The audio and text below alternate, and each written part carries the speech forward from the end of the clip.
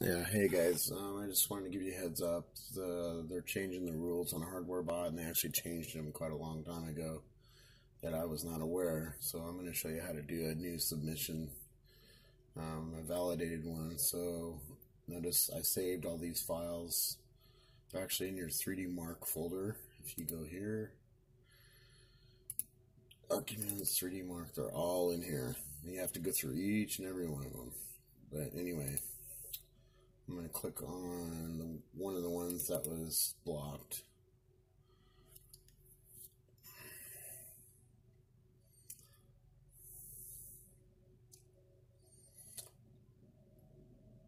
That worked well.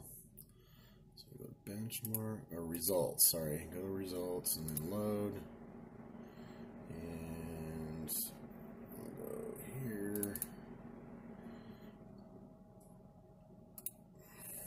Skydiver. And then you're going to open one, two, three, four CPU-Z windows. And try to line them up outside of the border if you can. Try to have your main CPU-Z window for the CPU over here, memory over here, main board here, and I'm going to do cache. I'm to do motherboard here. It doesn't really matter. I usually put my CPU here. And then I'm to do GPU-Z. Make sure this is also the latest version. I'm not sure if this is the latest version or not.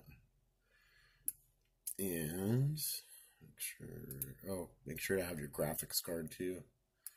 And then alt print screen, throw it in your photo editor, paste this new image just export them so they're smaller. Results you can do, name it however you want. And go to hardware bot. Submit score. Go down here to Skydiver, where is it?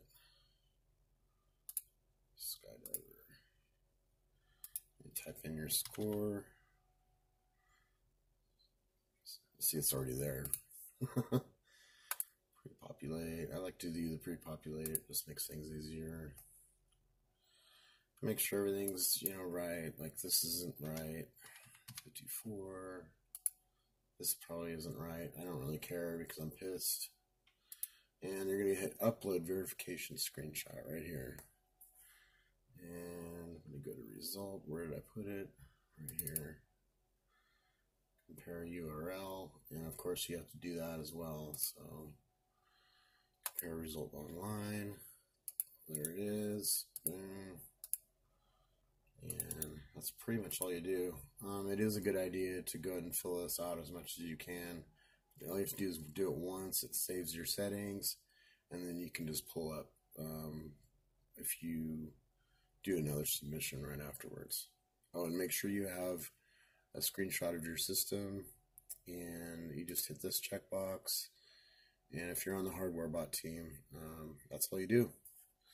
Anyway, thanks, guys.